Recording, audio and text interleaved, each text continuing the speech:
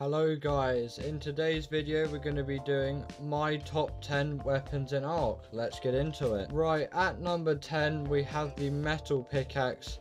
It is extremely useful in the game for gathering metal, flint and thatch. It is basically completely mandatory to complete the game. There are things such as the Doedicurus and the Anki that improve on this, but it is far superior from the stone counterparts. In number 9 comes the stone hatchet, it's pretty much the same as the stone pickaxe, but it gathers the more valuable resources such as stone and wood.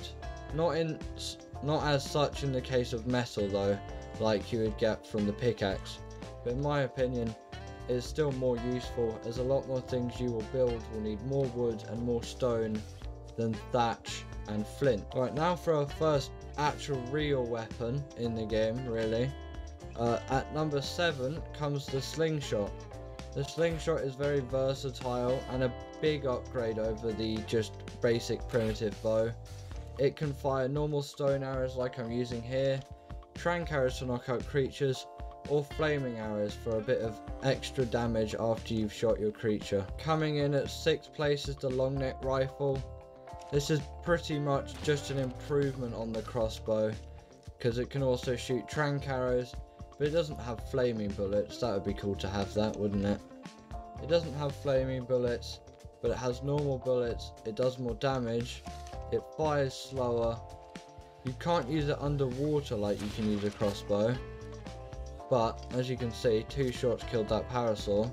I know it was a level 43 but it does a lot more damage and it has the bonus of using shocking tranquilizer darts which in the base game of Ark are the best way of knocking out creature. Right, coming in at number 5 is the fabricated pistol.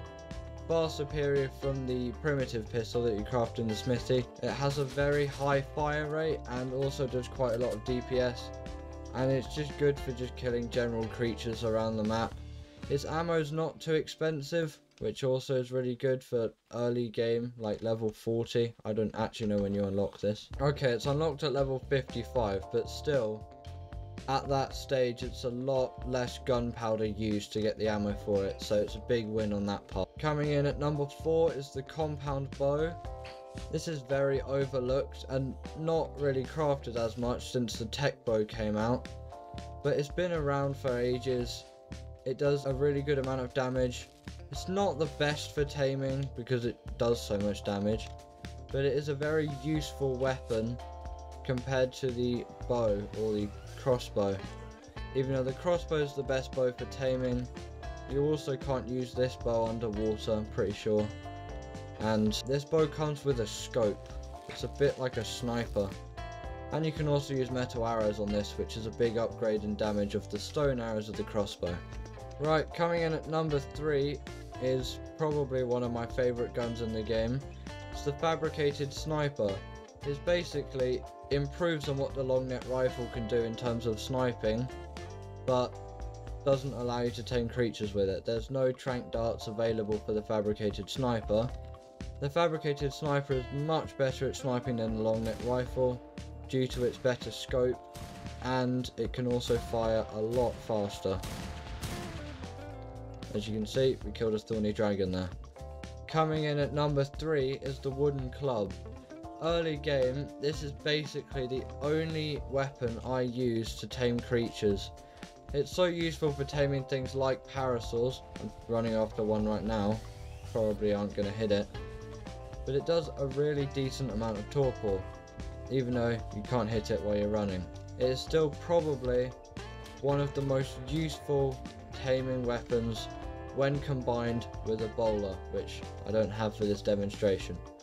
Right, coming in at number two is the pike. This is also a really, really versatile weapon. It's great for killing creatures.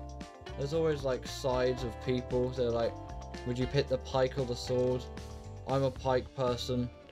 It's just got longer range and in my opinion, it's got more durability, it lasts for longer, Maybe doesn't do quite as much damage, but it's very cheap, very easy to get, very affordable, and very useful in Ark.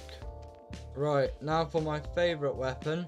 This is the pump action shotgun. As you can see there, we killed that Parasaur with one shot. It fires 6 bullets at one time, does an insane amount of damage and is a vast improvement from the base primitive shotgun. Also, if you didn't know, if you're in third person, after you've shot your 6 rounds, it's also got really good range, by the way. Ark has never fixed this, so that means it's a very fast loading weapon and it does so much damage. It's one of the most damaging weapons in the game. It's very versatile. Obviously because it's a gun, doesn't work underwater, but it is insanely useful for boss fights and is amazing if you have an Ascendant blueprint. But anyway guys, that's going to be the end of today's video. If you did enjoy this, please subscribe, leave a like, it really helps us out, and I will see you all in the next one. Bye!